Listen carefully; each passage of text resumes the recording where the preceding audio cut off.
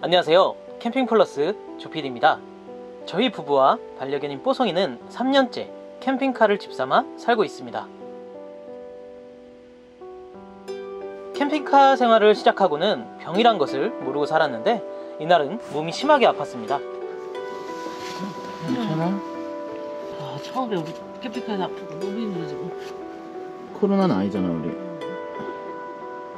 감기가 유행이라더니 독감 제대로 걸렸나 봐 아, 이렇게 아픈 적 처음이야. 나도 너무 아프다 비상약을 가지고 다닙니다 이렇게 이쪽에 비상약 보충해야겠다 우리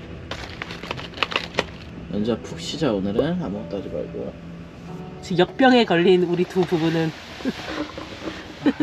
넷플릭스를 보면서 하루 종일 약쟁이가 됩니다. 근데 코로나는 안 나왔잖아. 몸살 감기도. 요즘 감기가 엄청 독하대. 무서워. 엄마 아빠 감기 걸렸어 어떡해. 근데 신기해. 우리가 늘어지면 뽀송이도 같이 늘어지는 게 신기해. 휴 휴 휴. 힘들. 그래도 아플 때 같이 있어서 다행이야. 혼자면 얼마나 외로울까. 서럽지. 화이팅. 화이팅. 올해 액땜 끝. 일단 끝. 서로가 있기에 아파도 위로가 됩니다.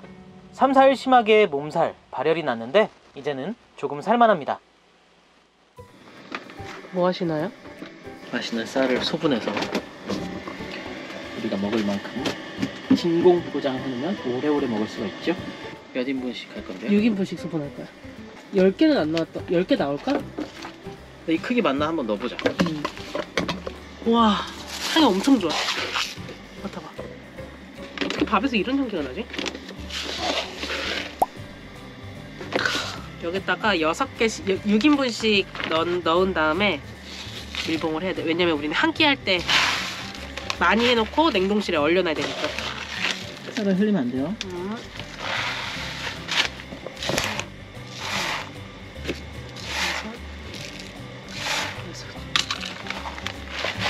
맞아 이, 이, 이 정도 이 정도로 나 페트병보다도 이렇게 그냥 진공으로 하는 게 마음 편하더라고 아예 변하지도 않고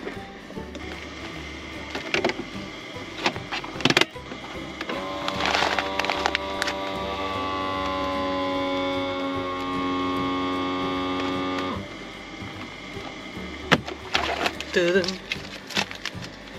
뜨등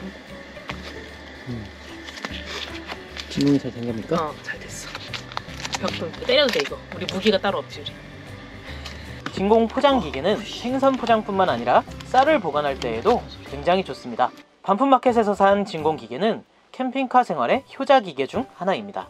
한동안 우리의 식량을 양식. 우리의 일용할 양식이지 한동안 압력밥솥으로 지어 먹을 쌀을 저희의 곳간에 잘 보관해 둡니다. 저희의 평소 일과는 노트북 두 대를 캠핑카 테이블 위에 펼쳐놓고 경제적인 활동을 합니다. 이동하는 집이자 사무실인 캠핑카에서 자택근무처럼 일을 합니다. 며칠 전에 사온 건나무를 주디님이 뚝딱뚝딱 요리를 하고 있네요. 고사리 너무 진짜 고사리 손이라고 하는지 알 것 같아 너무 귀엽다 고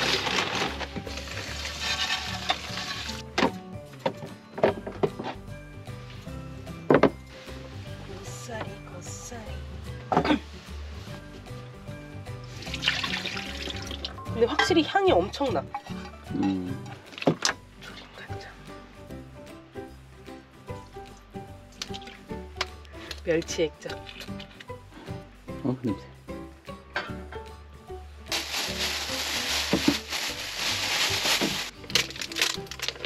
하나를 넣어주면은 맛있어져. 뽀백으로 안 넣어. 참기름 국내산 고사리 얼마나 맛있을까? 중국산만 먹다. 간장도 두 가지 섞었으면. 이거는 맛간장 홍게 맛간장 이거 조림 간장. 음. 좀 기다립시다. 그러면 이제 파 넣고 마지막에 깨 넣고 하면 돼. 음, 맛있는 식사 시간! 음 너무 맛있다. 밥 먹자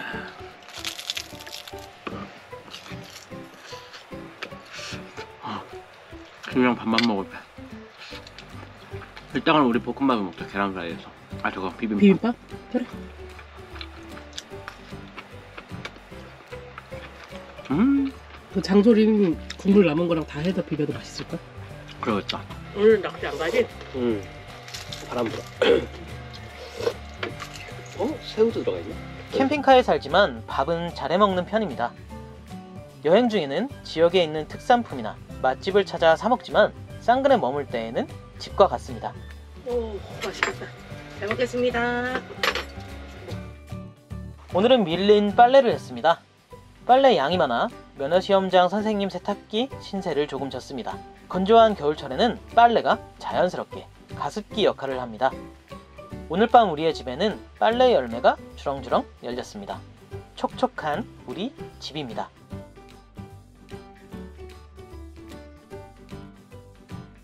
다음날 또 하루를 시작해 봅니다.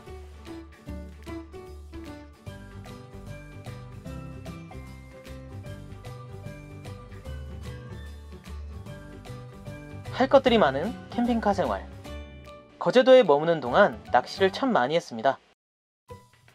배를 가진 마을 분들을 따라 참 많이도 다녔네요. 어종도 다양하게 잡았습니다.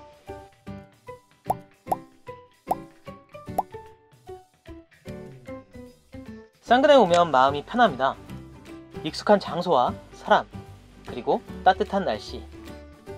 매일 이동하는 캠핑카 생활이지만 어쩌면 마음 한편에는 어딘가에 소속되어 살고 싶은지도 모르겠습니다.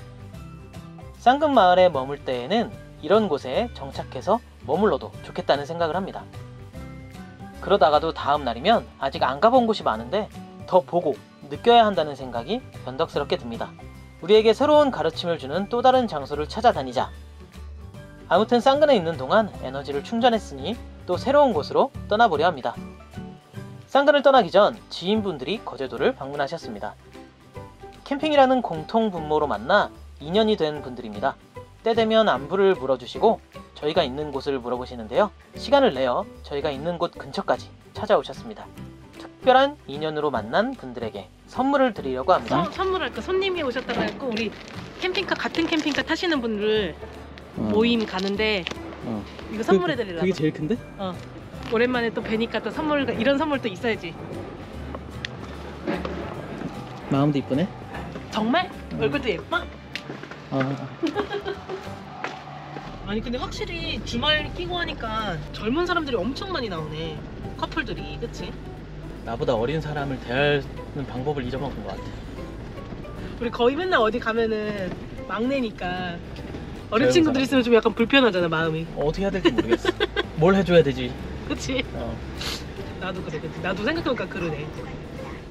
와 동백꽃 이쁘게 폈다. 어. 오 너무 예쁘다. 오, 오 동백꽃 동백이에요. 어 이제 막 만개하네. 오. 다 동백 날이, 날이가 좀 흐린데 우리 주행 충전을 100% 만들었죠? 아까 몇 프로든 못 봤지? 100% 됐을 거야. 100% 됐어. 어, 어, 어.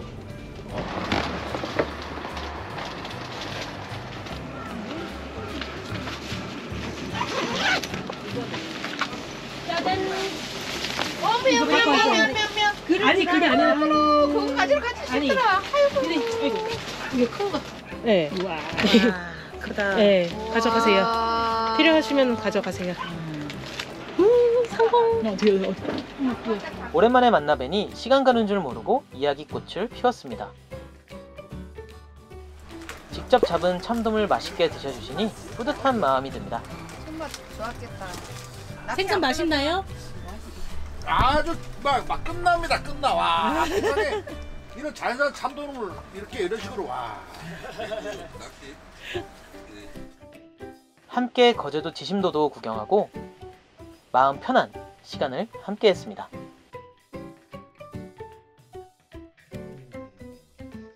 와보니까 좋지 또 너무 좋은데? 그지? 이렇게 다 돌아다녀야 돼. 거제도 어디라고 여기는? 지심돔입니다. 근데 동백이 많이 없네 죄송스럽네 안 가본 데 있으면 또 가봐야지. 호성이 또 이렇게 언덕 올라가는 거 운동하면은 다리에 좋다네 쓸개골에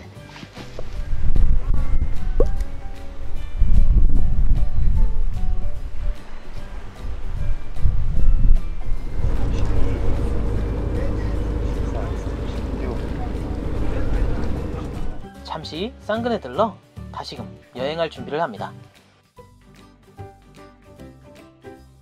우리 김만 먹고 사는 줄 알겠다. 뭐? 김? 어 김이 너무 많은데 요소수를 넣는 날 요소수 얼, 얼마에 한 번씩 넣나요? 5천에 한 번씩이었나? 어, 맨날 주유기로 넣다가 이거 처음 넣어봤는데. 그러니까 근데 그거 흘리면 안 돼 왜? 야무떼지게 잘해야 돼 여기 뭐 굳더라고 이거 키 무슨 키로 써 이거? 이거? 뭐 차키? 그러니까 이게 좀 불편해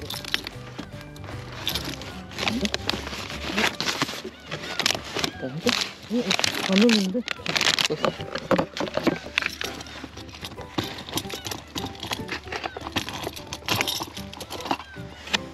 여기 녹슬었어 저번에 다 흘려가지고 딱 입구에 넣어줄 때.